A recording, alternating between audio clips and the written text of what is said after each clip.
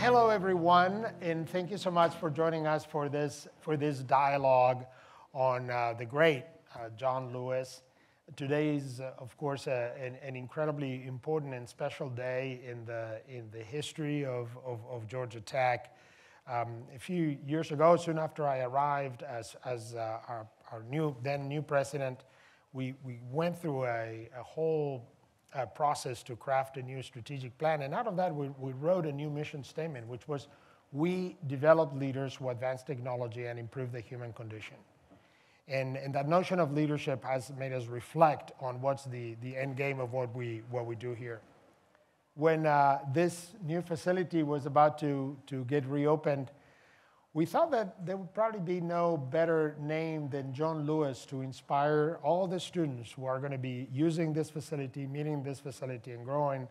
Uh, no better name than John Lewis to inspire them to, to grow as leaders, to, to, to reflect on the fact that John Lewis himself was a student leader when he did um, what he did uh, for, for our nation.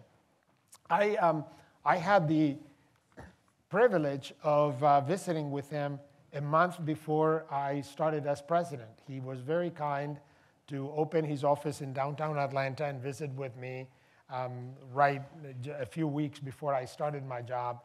And um, of course, I've, I've always admired him and read about him and, and looked up to him as, a, as an example. And I could not believe I was sitting with the man himself in his office. And all I wanted was to talk about civil rights, but I didn't know if he was like, ah, oh, you know, maybe that's old stories for him as soon as I mentioned those two words, the entire conversation, I could see the sparkle in his eye. I, uh, he showed me amazing uh, photos that he, that he treasured. He showed me from his office, many of you knew that office that has great views of, of downtown Atlanta and Auburn Avenue, and he pointed at all the historic landmarks.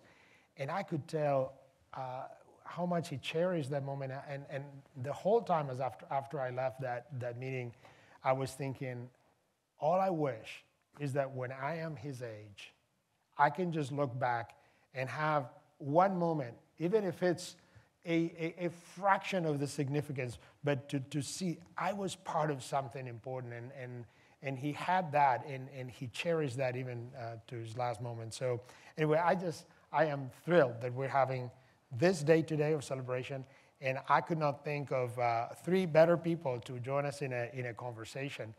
Um, I'll introduce them, and I have a, a, couple questions, but this will work as a, really as a, as a dialogue. Kabir Sehgal is co-author of John Lewis Carry On. It's a, it's a fabulous piece.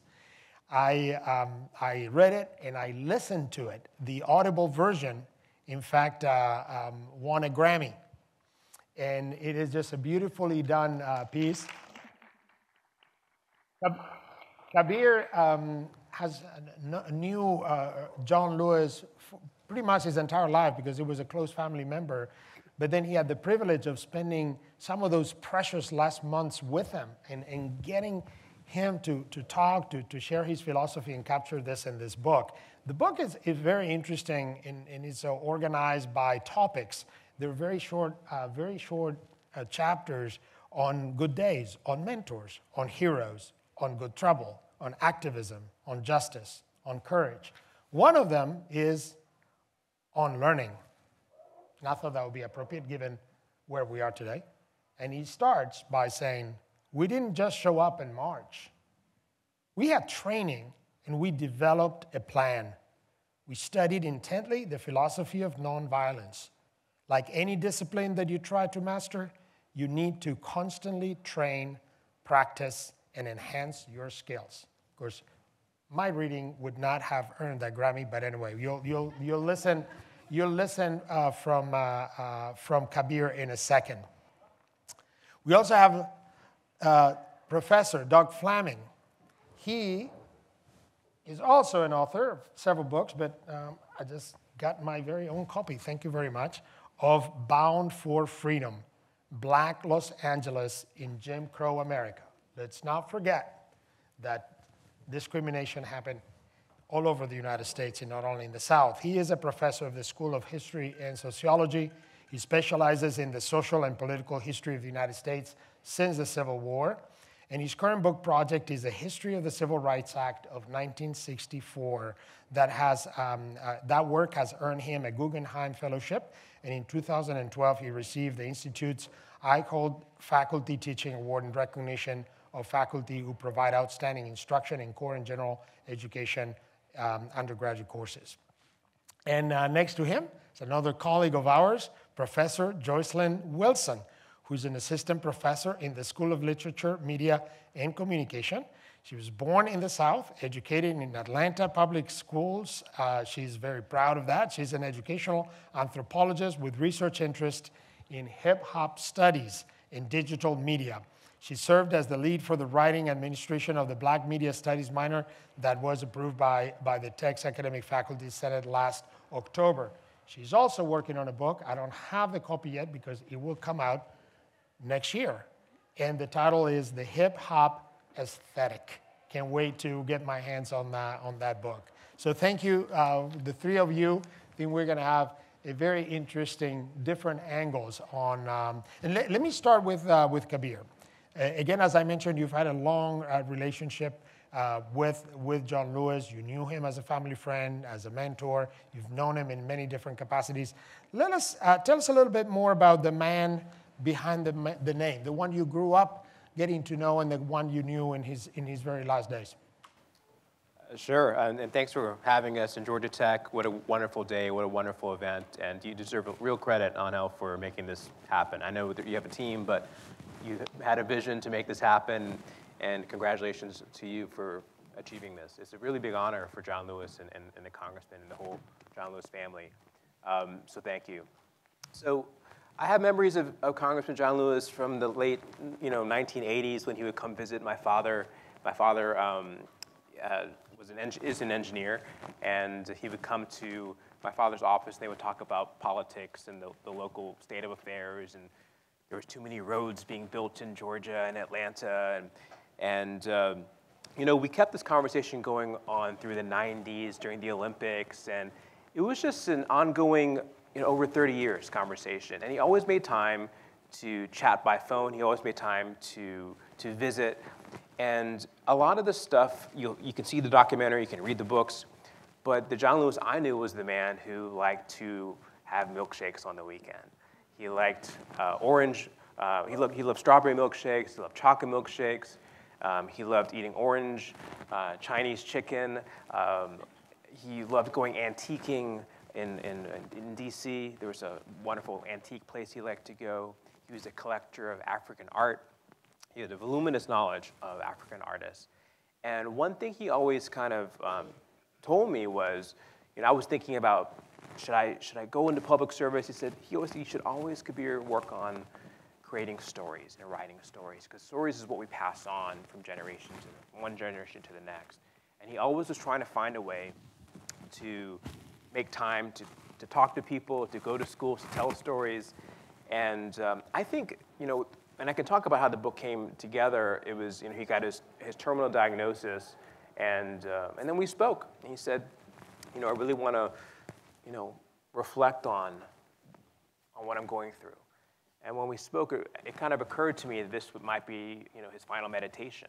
And so over the course of several months, um, we were in conversation to, really capture what was on his mind. And the book, as Angel mentioned, was, is not, you're not going to get John Lewis the, the biography, you're going to get John Lewis almost like a Tuesdays with Morrie, in a reflection, what was on his mind in his final weeks. So it was very moving. And when he passed, I had this, uh, this collection of notes. And uh, there was a heavy burden to put it in his words and, and to publish it. And the book came out posthumously a year after he passed. So that's a little bit about our relationship. I'm happy to, to share more. And that's how the book kind of came together in, the, in those pages. And, and uh, of course, if you want to have the full answer to my next question, you're going to have to read the book. You're going to love it.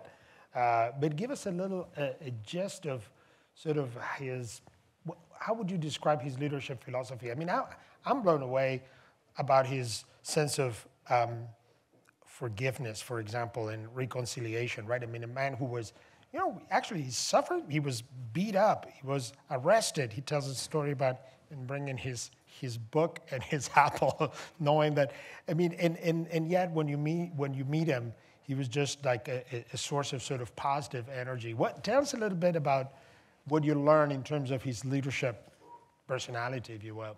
I think you would say love is the foundation of his leadership style. There's two. I've had the great fortune of meeting several Georgia public servants, and there's two people who would always say, "I love you." One is uh, Max Cleland. He would always say, "I love you, brother."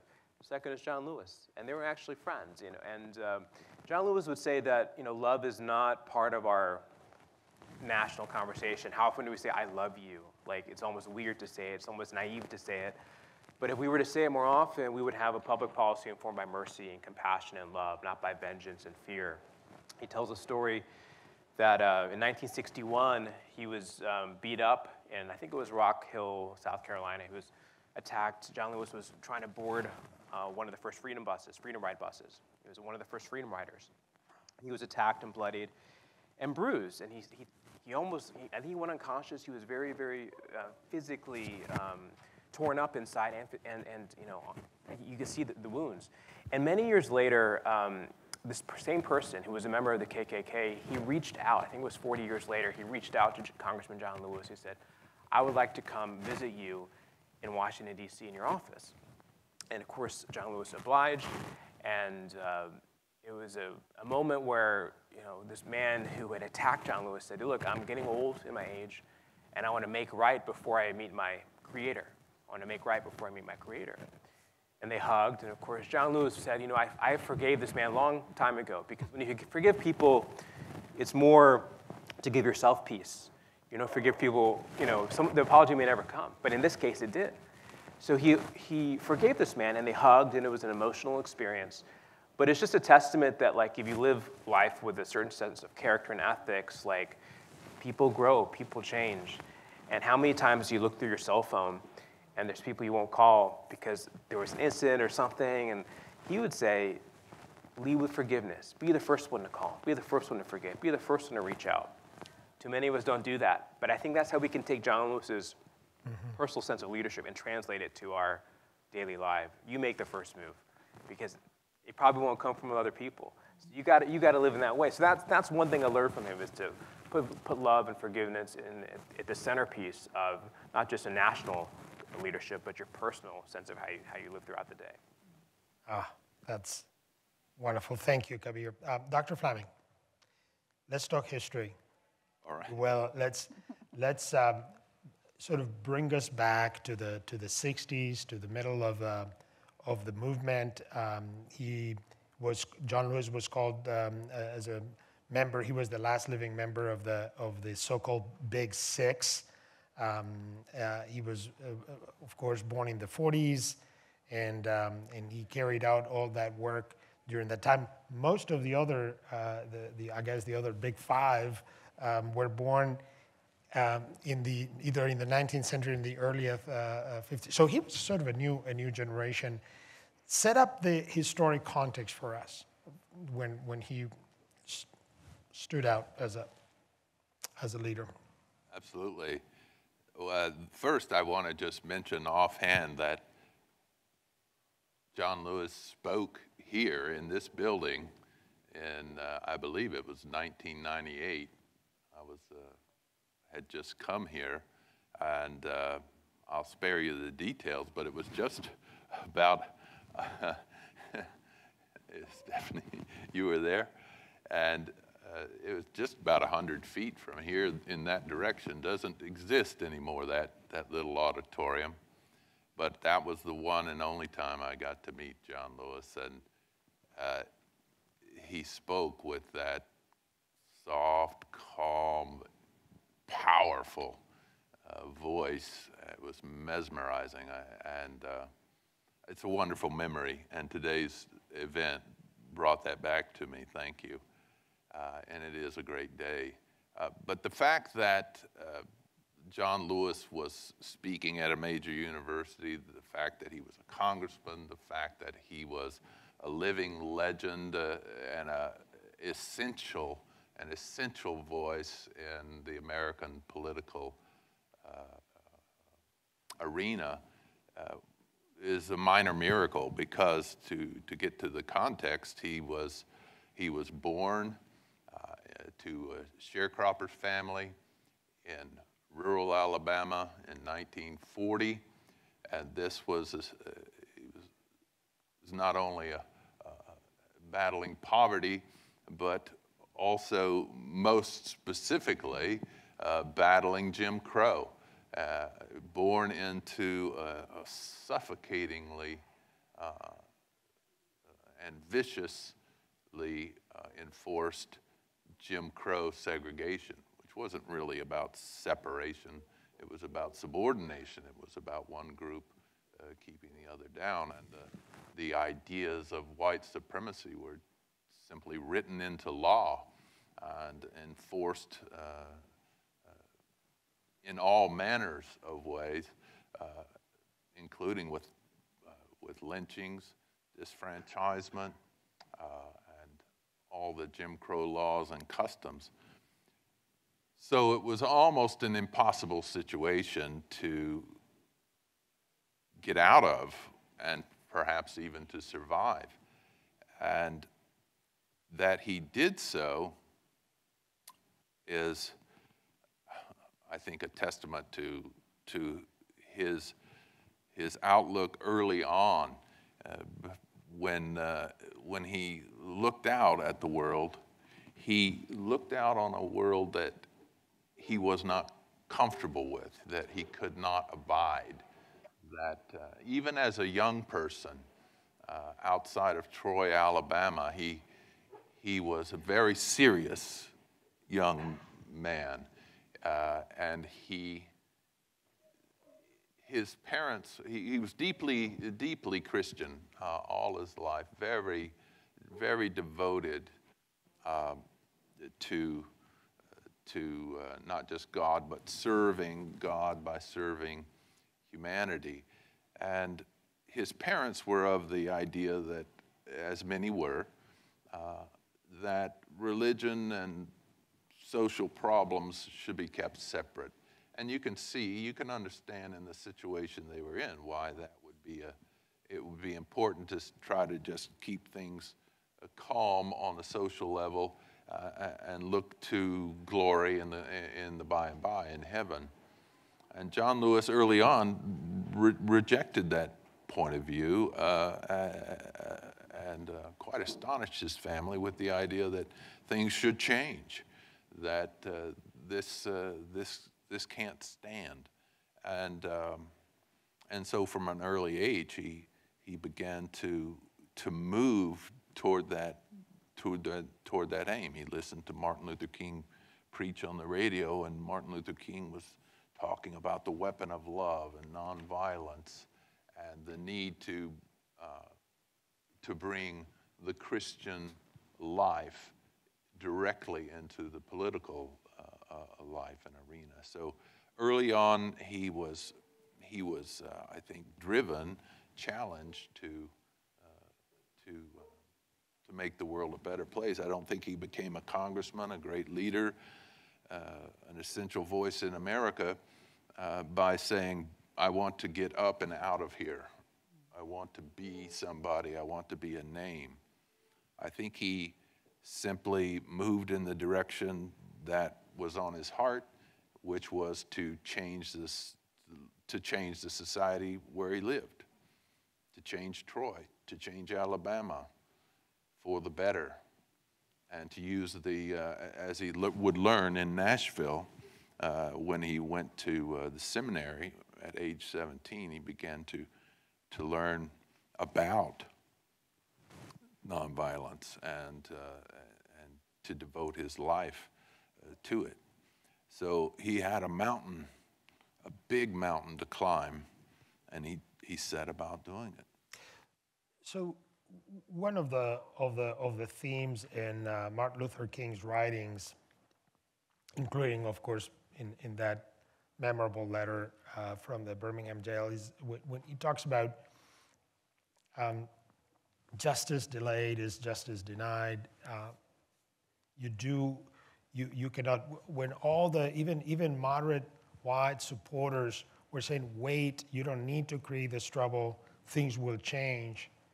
In retrospect, was it too naive? I mean, would things have changed? Would we have had that those those um, acts enacted um, when they did, if it hadn't been for the actions of of that group? Was it inevitable? In a word, no. Uh, I think that you had to have the movement to have the Civil Rights Act of 1964, the Voting Rights Act of, of 65, um, and, and even the, uh, the Civil Rights Act of 1968, often called the Housing Act, um, which did include, by the way, an important section which gave federal protection to civil rights workers, something that had been sought for many years by the civil rights lobby and by the movement. So, so no, I think that you had to have the movement. I do not think that, I, I can't predict, I can't actually say what would have happened without it. But um, I don't think things were gradually getting better. In some ways, I think they were gradually getting worse. And uh, so it was not inevitable. You did have to have people like John Lewis, like Diane Nash, uh, uh, like other young people in the movement. And the movement wasn't just young people. It was, there, was, there were some old folks scattered in there, uh, take up for my age. And uh, so I think it was absolutely necessary. And, you know, in some ways, John Lewis shaped his times d- directly. Um, he was also shaped by his times. Um, so it's an interesting question of leadership, but uh, he certainly made the most of it. Thank you so much. We'll get back to that, but um, Dr. Wilson, I am really intrigued by how new generations now process, understand, are aware of, or not, of what happened now 60 years ago and even before that. Um, you, uh, your, your scholarship and your work is fascinating, is that at that intersection of, of, of, of culture and, and technology, uh, you teach many of our students to, to understand, to dig deep into hip hop, to get into deeper layers. So, uh, from that perspective, um, what do you think is the awareness of, of, of, of, new generations as to the work of those, those giants or um, and maybe, maybe do you have any recommendation about what it is we should be doing to keep those ideas alive and, and well? Yeah, sure. Uh, first of all, I want to thank you for inviting me for, to this. Um, in 2017, I got an opportunity to work on the John Lewis Task Force.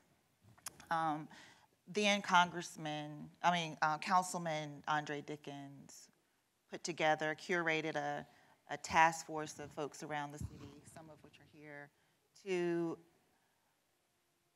to establish while he was here to give him his flowers. And we came together to think about exactly your question how do we ensure that his legacy is um, archived in a way in the city where the next generation would not lose sight of who he was and what he stood for and the fact that he represented the city for so long.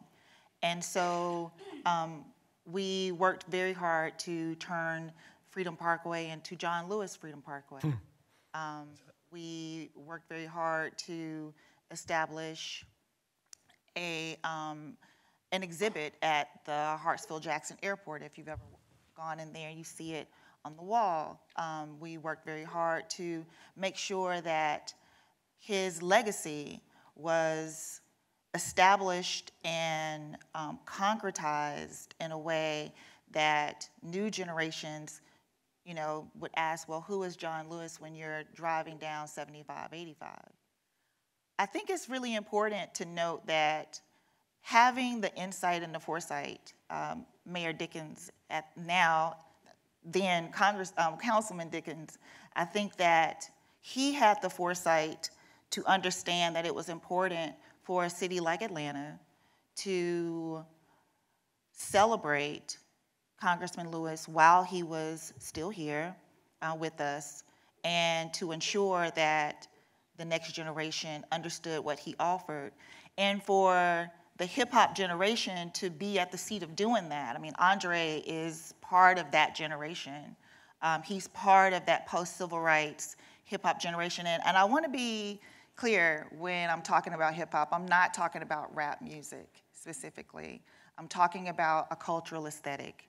I'm talking about a movement of young people who were born following the civil rights movement, following the acts that you mentioned, who uh, some benefited and some didn't necessarily benefit. And they did exactly what he implored young people to do, and that's to get in good trouble and to be audacious about expressing oneself and expressing oneself through a set of artistic elements, whether that's music, whether it's dance, but the whole point of it was to gain knowledge of self and understand who one, who you are, what your gifts are, and how to give those to the world. And one of the most profound elements of the aesthetic is this notion of schooling and education. So I believe that Congressman Lewis's legacy, um, he would tell this generation of young folks to continue to use education as your vehicle for not only developing your computational and technological capacities, but to also use it as a vehicle to um, develop your leadership and your social justice capacities. There's a, there's a declaration in um, the hip hop aesthetic, it's called To Get In Where You Fit In. And To Get In Where You Fit In is exactly a remix of Getting in Good Trouble. And what I love about him receiving the Ivan Allen Social Courage Award, courage is about getting in where you fit in, being audacious, being and not really and knowing that on the other side you're going to catch some flack, that it isn't going to be an easy task to get in good trouble, to find where you fit. And I think through education and what I teach my students is you can't come to a place like Georgia Tech and get these really dynamic degrees and not do something with them to make the world a better place. And I think that's what he represents, and I think that's what he would um, say to the next generation. And we use rap music, we use film, we use um, all these different artistic expressions um, to have conversations and debates about how one can change the world and be courageous about it and being audacious and having the audacity to actually do it because that's what he represents. And um, and I think that's what he would encourage young folks to do. Yeah, and I'm, I'm fascinated by, by your work and how you find the, the means to connect with, with students. One, one of, the, of the projects that, that um, I find fascinating that I know you've played a key role in um, is a project in partnership with Amazon Earsketch, where we use uh, music as a, as a hook to bring uh, high school students in. Um, they think they're going to be learning about hip hop music, and they end up actually learning how to code in Python. So uh, I, I, find it masterful. So I guess my, my question, just the, in the same way that, that, that, that music has, can be used to bring students into certain things, this idea of, of, of, of music and the arts to inspire students to, to grow as leaders, to develop that courage. Um, can music do that, or can other forms of art effectively do that? Yes, it always has. It, it isn't significant to hip hop. Um, it's very much a part of um, the African American cultural tradition to use music and art, whether it's blues, whether it's jazz, you know, whether it's soul and R&B, you know, to use music and art as a platform to express oneself, particularly around issues of justice. And um, with Your Voices, you're talking about Your Voice Is Power. It is a project between Amazon, um, CEISMC here on campus, the Center for Education Integrating Science, Mathematics, and Computing, and um, Earsketch, and the Hip Hop 2020 Innovation Archive. And a methodology that we use to teach students how to get beyond the turn up, to get beyond what these lyrics just say on the surface. To, we have a set of seven principles that we ask students to mine for in the lyrics so that they can rewrite and remix their own lyrics to go with the songs that they're remixing. And it's really great because you have artists like Pharrell or Alicia Keys or Khaled. Um, we're working with um, Daddy Yankee on the um, Latin version. They donate their music to the project. They're called stems, and stems are really all of the melodies that are created to make a song. And so they literally will donate the stems to the project, and students will use EarSketch to create remixes of the song. And when um, we went through the early parts of the, the pandemic, but we also went through a justice pandemic, a social pandemic, uh, uh, Amazon decided that, hey, we need to have students remixing these lyrics as well to write their own stories to pair with the songs that they're writing. And so they not only remix new songs, they remix, um, remix the music, they remix the lyrics.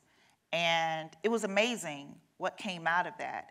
Uh, students from, there were 1,500 entries, uh, there were five winners. One was a young lady from Clayton County. Um, and EarSketch has now reached their millionth user. We're celebrating a million users with EarSketch in a couple of weeks. So I always have felt like music and art intersected with um, race and justice and integrated in the curriculum was really the way that students should learn to develop those capacities. I went to Benjamin Mays High School here in Atlanta. I was in the Mays, I was in the Math and Science Academy. So I saw my teachers doing this before it was called hip hop pedagogics. It was just really good teaching. And so I think that we have to, in the spirit of John Lewis, I think we have to push against anything or anyone who tries to eliminate the integration of those concepts in curriculum because it really is the way that we're going to balance out the equilibrium of democracy in this country.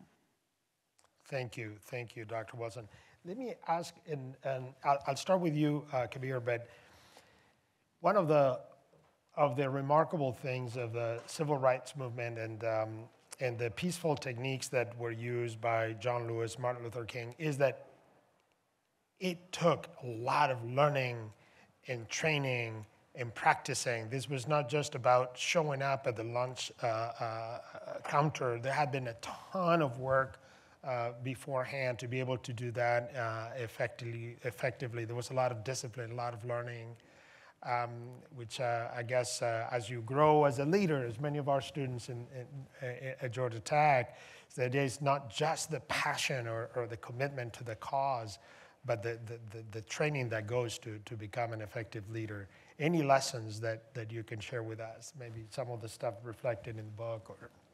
Yeah, there was a, really a boot camp of, of learning and how to, how to be a good leader in, in the civil rights, in the civil rights vein. I think um, part of the training was these young people would sit at counters and their friends would yell at them and they would have to endure this kind of assaults for minutes. How long can you sit at a counter with someone yelling at you or pouring hot water on you or doing something? So when the time comes when you actually do it, you've done it before, right? So, you know, with John Lewis, he would often wear a suit in college. He was almost single-mindedly dedicated to this issue of wanting to integrate and, and, and uh, desegregate the, the woolworths and the, in the, in the counters. Um, and it's, it really took a lot of, what, what I found was interesting was they used a lot of, um, I would say calculation, strategy on how to stage the marches, when to stage the marches. They weren't marching in the middle of the night. They were marching at 5 p.m., 6 p.m., so it could be broadcast right on the evening news, right? Because they wanted to get the leverage of, let's get a lot of eyeballs on this movement. That took a lot of thought. That took a lot of not, let's, let's not, let's, let's not just react. Let's plan the event, is make sure we have our best trained foot soldiers who are going to be leading this march. John Lewis, there's a reason John Lewis was at the head of the, the Selma March, because he had the training, he had the experience. And, uh, and he wanted to be there, and he had done it before. And so, you know, when you train, um, it prepares you for these, these moments in life, and his life changed. I mean, think about that. One Sunday changed American history. Bloody Sunday changed American history. It was when millions of Americans started to realize the violence that was happening. And John Lewis was preparing for that one moment, maybe unwittingly, for over a decade. You know, he wrote that letter to, to Martin Luther King, I think when he was 15 or 16. And his training began at that moment. So um, one thing I just want to say also is in this student center, um, which is so wonderfully named, I was reading, uh, there's, a, there's a great um, writer, Kevin Kelly, he was a founding editor for Wired Magazine, and he turned 70 recently, and he came up with a list of lessons, right? And some of them were quite practical, like always take the stairs, or never, um, if you're gonna rent a car with a credit card, don't get additional insurance because your credit card, right? But, but, um, but one of them I liked, he says, always read the plaque. Always read the plaque. And I know what, what you've done here, what your team has done here, um, I can only imagine people who come to the school, I mean, I, I, know a lot of people who don't know who John Lewis is. You know, in Atlanta, he's well known, but a lot of people, I was overseas, a lot of people don't know who he is. When people come to the school, how many people are going to Google who John Lewis is now? How many students who don't grow up in Georgia are going to come to the school and say, all right, let me Wikipedia this guy, and maybe write a project about him, or maybe, uh, and read the plaque. So millions of people are going to come through this place, and because of what you guys have done here, they're going to learn about John Lewis, maybe write about him, maybe be inspired by him. Um, you know, where I went to school, it wasn't called the John Lewis Student Center. I wish it was. And um, so that's, I just wanted to comment on that because I think what you're doing here is you're continuing this legacy of learning in the civil rights vein and that all these young leaders had the training and to think of all the mischief that happens in these confines and all these people that are going to want to challenge. I'm sure there's some, some disruptions that you may be for or against. I'll be, I'll be the target of. exactly. Yeah, that's, yeah. So get ready. Yeah. Right? So there'll be there'll be uh, good trouble at your at your doorsteps, but it's it's really uh, you know a credit to to the, the learning and the forward thinking that the institution is embodying. So thank you for that. Thank you, Kabir. Um, uh, Dr. Flamming. So just like we hope our students will be inspired by the history of, of John Lewis and, and the other leaders of the civil rights movement, they themselves had their own sources of inspiration, right? And even the whole idea of, uh, of peaceful protest didn't come out of just nowhere. They didn't invent it, they studied it. Again, give us a little bit of uh, maybe a historic context of where did those ideas come from and where did these people figure that that was going to be the path to drive real change?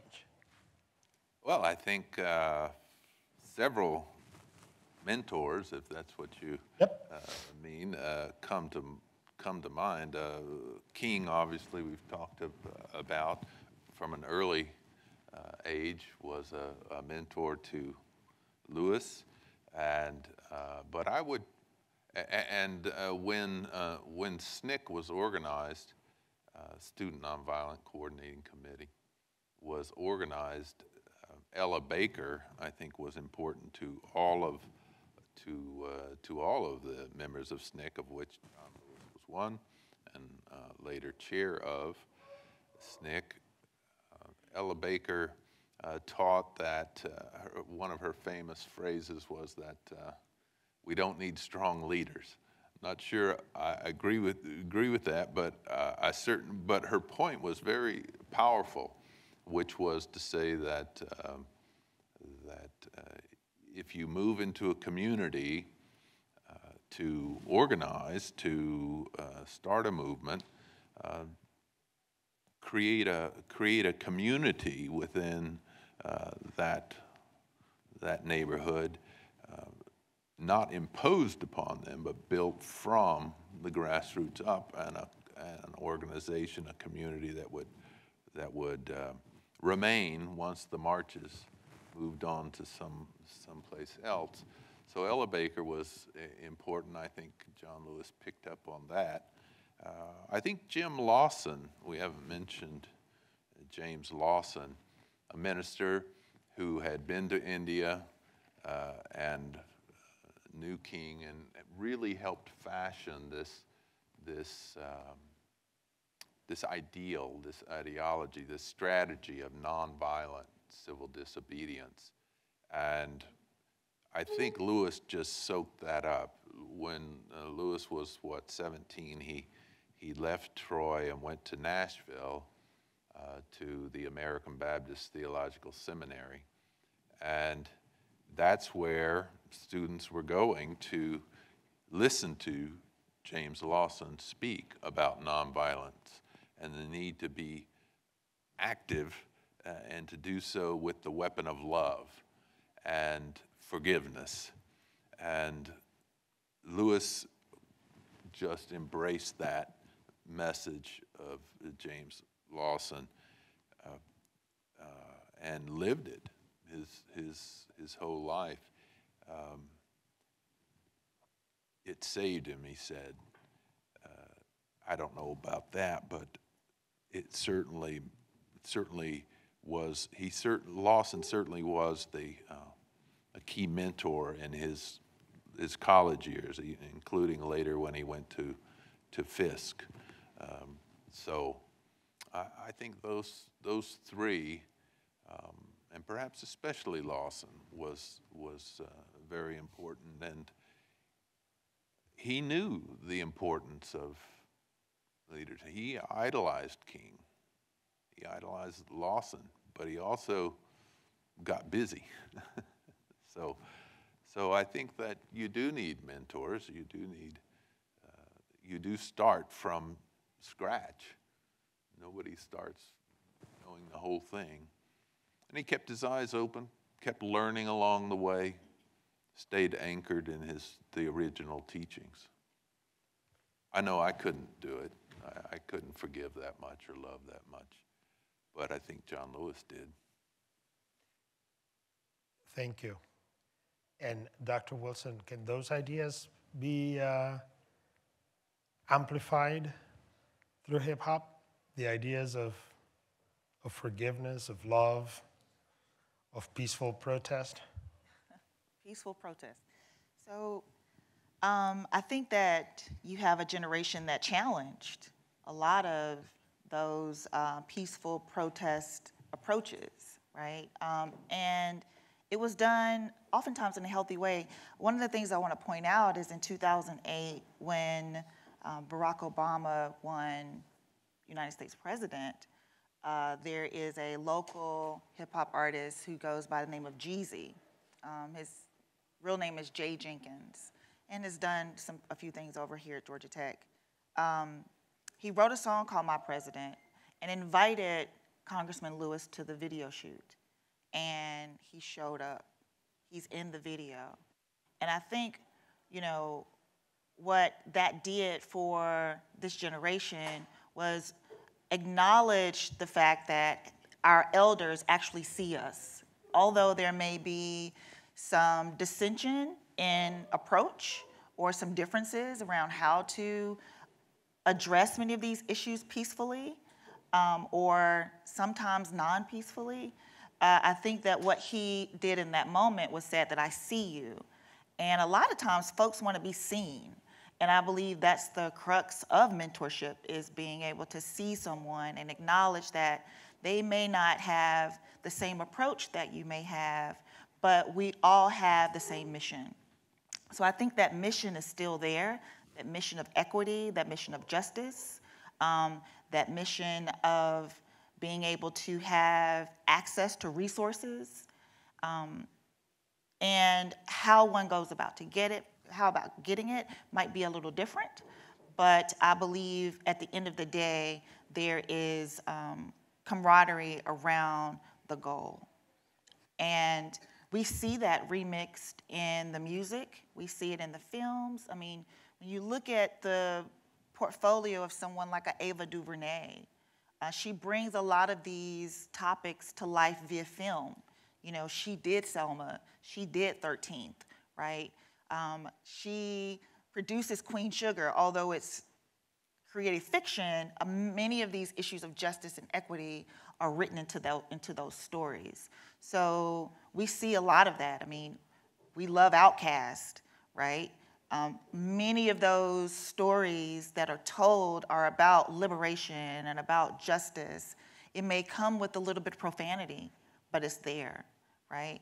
So I think um, what ultimately happened with the post-civil rights slash hip-hop generation, especially those who grew up here in Atlanta, who could go to Kroger or go to Nordstrom Rack and actually see John Lewis. You know, like that was one of, the, I don't want to underestimate what it means to be from Atlanta, growing up during a time when many of these civil rights leaders were living in your neighborhood. And it can really create a false sense of security when you go out of the city of Atlanta because it's not like this. Atlanta is not perfect, but Atlanta is definitely special in that way. And so I don't want to underestimate that part. And um, so you're going to see a lot of those things remixed in the stories and the media that's produced. And I try my best to expose students to that legacy so that they understand that you have a task. You know, you just can't get this degree and just be out there getting your bag and not making a difference while you're doing it. Right. I'm going to give you, the three of you, a challenging closing question. Uh-oh. which is the three of you have spent quite a bit of time reflecting on, on John Lewis, reflecting on leadership. If you have to encapsulate it into what is the one lesson you hope 10 years, 20 years from today, those students who come to this building and hopefully will read the plaque, what is that lesson? That nugget? This is in the category of, I think it was Mark Twain, if I had more time, I would have written you a shorter letter. You don't have the time, and I want the short letter. No, that's, that's Yeah, I would say it sounds um, really innocent, but it's hope. Um, one of the things Congressman uh, Lewis, which, which, broke his heart towards the end of his life, was the violence that was happening in 2020. Um, because there was a certain thing that, oh, nonviolence was uncool, or like how do you actually say nonviolence in, in the wake of Trayvon Martin or Ahmaud Arbery? And I think it takes a real commitment. John Lewis was nothing but committed, and some people would say even stubborn to a point of being, we've got to stick to nonviolence because at 10 years from now, we're going to be facing some other challenges, some other complexities, and it's so easy for you to, it's so easy to become violent. It's so easy to be cynical. It's so easy to, um, you know, to, to spar with your neighbors. It takes reflection and decency to figure out how to actually make change happen. And so I hope that that hope, he would always say, never lose hope. It's going to change. It's, he said that in 19, 1960s. And he would say that in 2020, never lose hope. It's going to change. It's going to change. People are going to grow. So I think that he would say nonviolence doesn't go out of fashion. And we need to get, we need people to keep on reminding us that, like, you know, we need to live in harmony. And that sounds so innocent and so naive, but actually, there's, there's so much wisdom in that um, to stick with that nonviolence movement. Dr. Flamming. I think it would be keep moving. Don't let anyone tell you to stop if you're determined if you're trying to make a difference in the world, if you're trying to change the world, which John Lewis was, don't let people stop you. Keep moving. Thank you. Dr. Woodson? I would say, i am going to put it in these terms. He didn't say it this way, but I think that he did this. And all of us in here, we've flown before and the first thing that a flight attendant tells us is to put your own oxygen on first before you help anybody else, even small children. And I think there's so much value in that because if you can't breathe, how can you help anybody else breathe? And I think what John Lewis is, he put his oxygen on.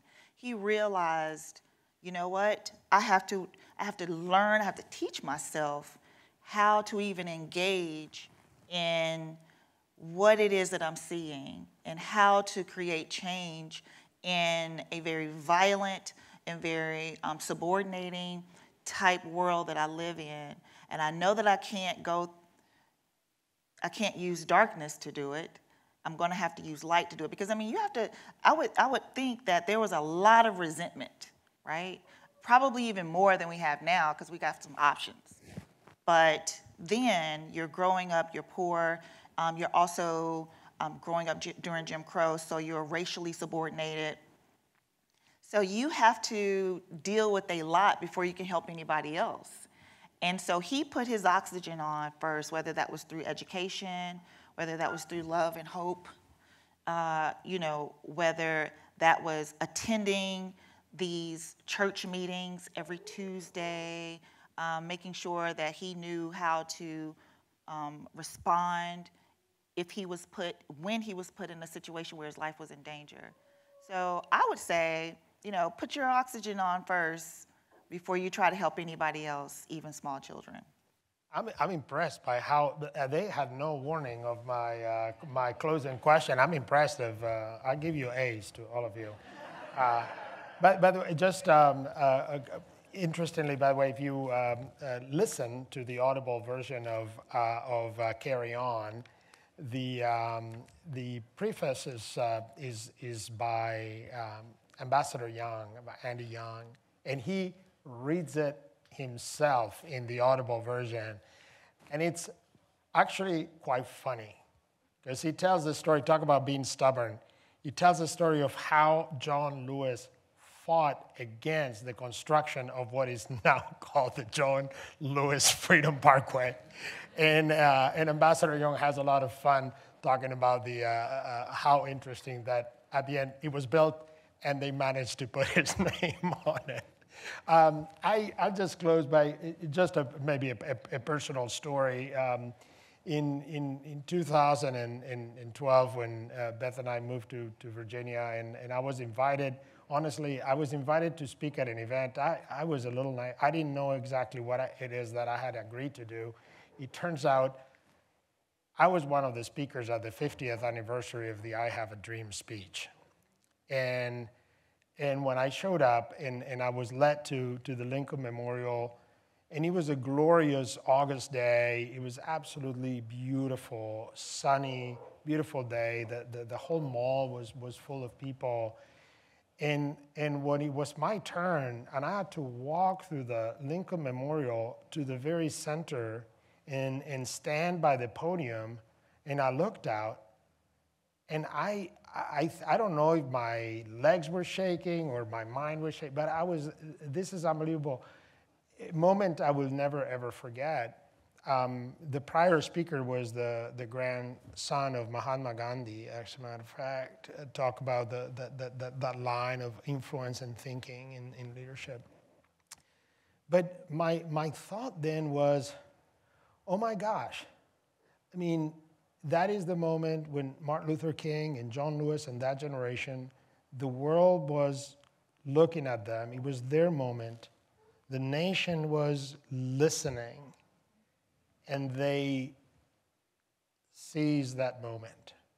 And they used that moment to really do what had to be done and to say what had to be said. And I keep thinking, we will have our own, maybe not as dramatic, but we will, and our students will have those moments in life where you have a chance to make a difference. And the question is, will you be ready? Mm-hmm. Thank you so much for being part of this great conversation. Thank you.